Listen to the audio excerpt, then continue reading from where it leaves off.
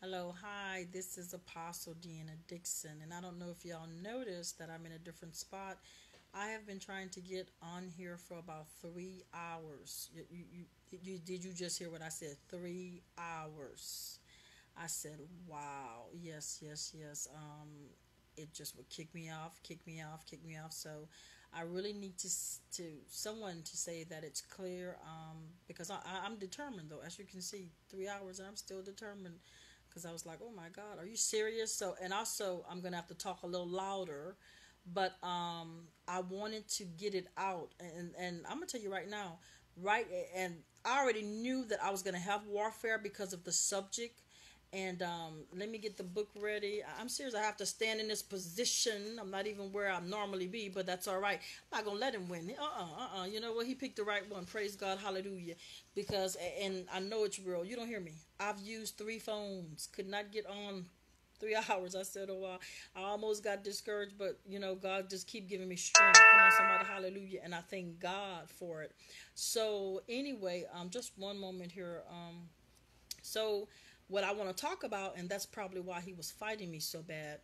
Let me tell you what's going on, and I'm very serious because I find myself like going to bed sometime at four o'clock, and I'm still praying and praying and praying and getting up quite early. I'm not kidding, like maybe even, you know, just early, real early. So it's like, okay, God, what's going on?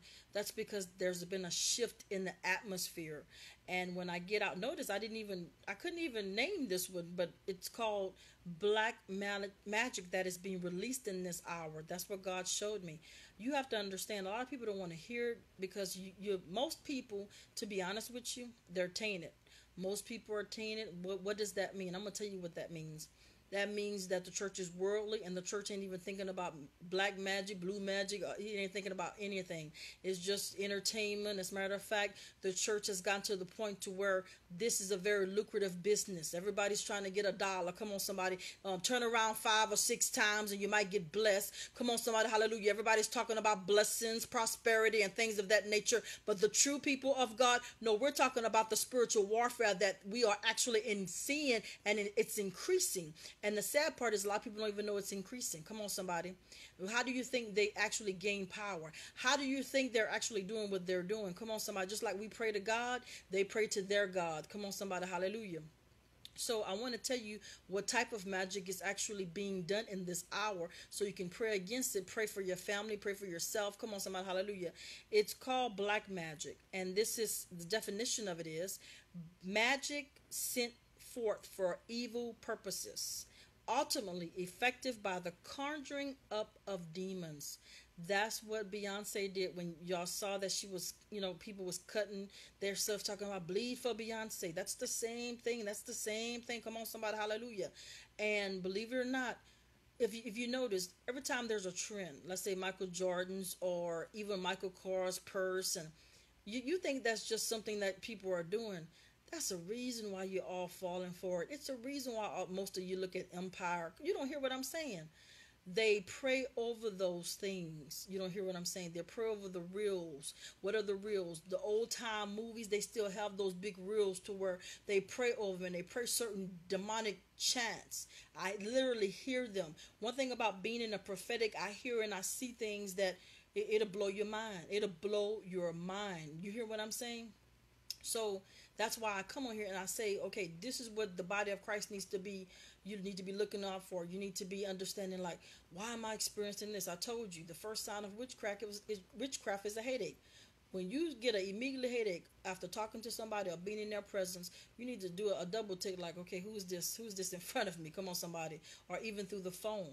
That's why I, I anoint my ears. I truly anoint my ears because I don't know who I'm talking to on the other side. I, I, don't know if it's a bill collector or whatever. I don't know if they believe in God or Satan. Come on, somebody, hallelujah. So, especially at this time of year, let me tell you what they're trying to do. They know this time of year that a lot of you are missing loved ones.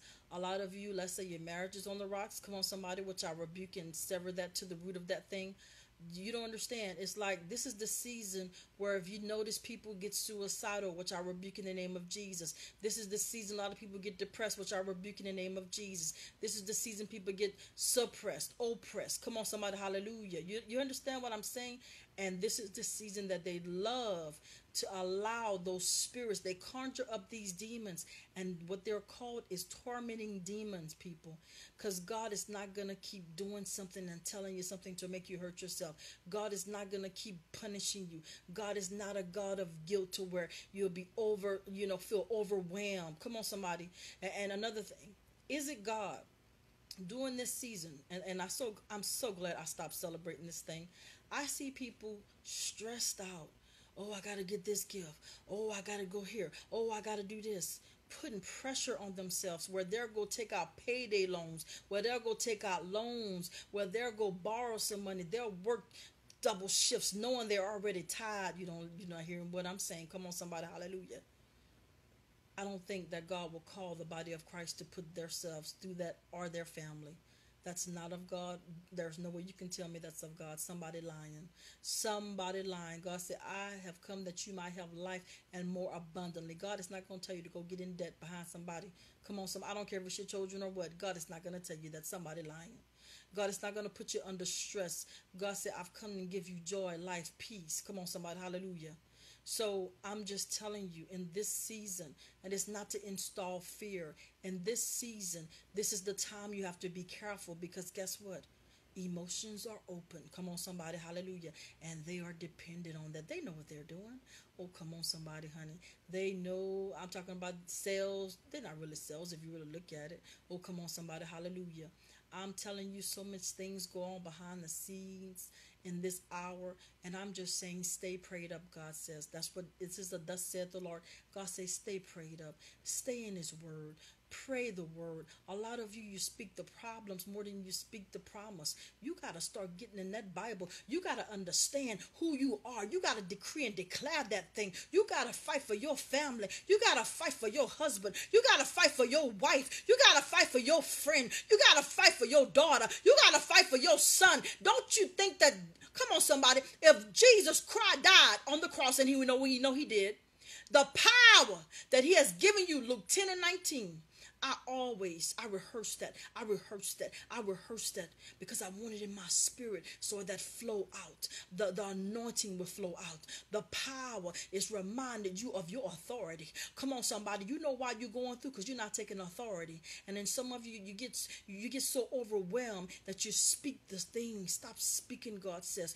Death and life are in the power of the tongue, and those that love it should eat the fruit thereof. What are you speaking, man of God? What are you speaking? Speaking, woman of God. And let me tell you something. You're going to have to have a radical praise in this hour. And let me tell you something else. You're going to have to have some tenacity. That's what I did. I'm not kidding. It three hours I've been trying to get on this live. I'm not kidding. Using different phones and, and, and ain't nothing wrong with nobody's phone. You don't hear what I'm saying.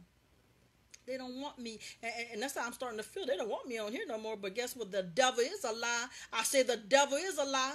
I'm going to get on here and I'm going to say what does said the Lord. Yes, I was frustrated. Yes, I was like three hours, God. Come on, somebody, because I just finished the class. So you know I'm tired. Come on, somebody. Hallelujah. But guess what? Uh, I started praying up in that corner.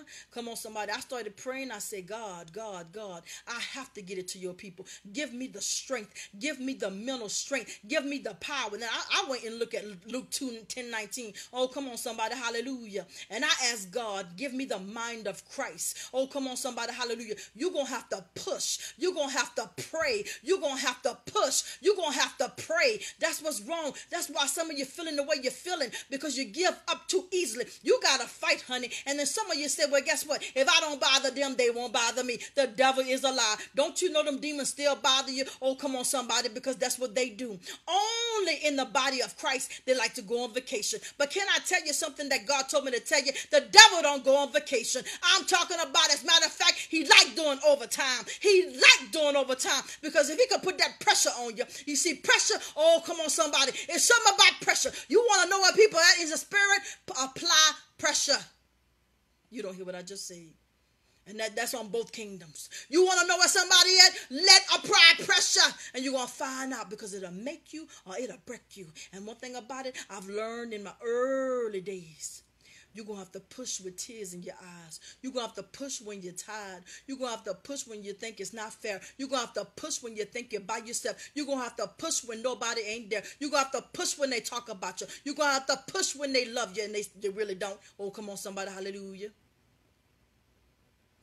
Black magic, white magic, mind binding demons. That's what they sending out right now. And it'll make you feel pressure, stress, um, condemnation, guilt, suicidal thoughts, I rebuke that all in the name of Jesus. Some of you will feel like, oh, my mama not here, my daddy not here, my brother not here, my husband. Even if you have lost a loved one, don't you understand?